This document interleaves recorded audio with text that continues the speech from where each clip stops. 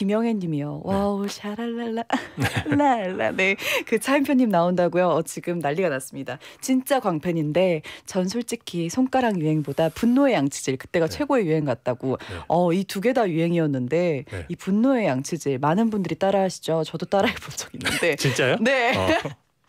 사실 이거 하시고 임플란트를 하셨다고.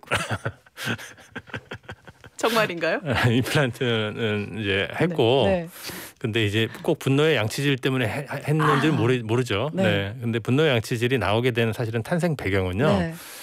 제가 그 홍콩 익스프레스라는 드라마를 예전에 촬영을 했어요. 봤어요. 스브스 SBS 네. 거잖아요. 2000년대 초반에 했는데 네. 그게 제가 데뷔한 지 그 당시 시점으로 10년 만에 네. 처음으로 악역을 한 거거든요. 아. 그래서 사실 뭐 주인공 같은 경우에는 이렇게 뭐 대- 대본에서 만들어 주는 것도 많고 연출이 네. 많이 도와주잖아요. 음. 근데 악역은 정말 연기력으로만 승부를 해야 하니까 네.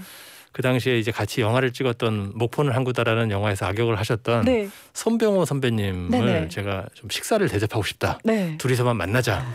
그래서 고급 일식집에서 모시고 네. 이제 그분은 회를 드시고 네. 저는 이제 공책이랑 노트를 노트와 연필을 가져가서 네.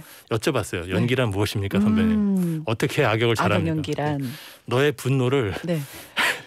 시청자들이 느낄 수 있도록 뭔가 이 프리즘을 통해서 느낄 수 있도록 해줘야 된다. 아, 뭔가 설정을 해야 한다. 그래서 그분이 이제 특별히 저한테 뭐 칫솔 양치질을 하라고 말씀하신 건 아니에요. 네. 근데 저는 이제 그걸 그렇게 받아들인 거죠. 아. 그럼 나의 이 분노를 어떻게 느끼게 할 것이냐.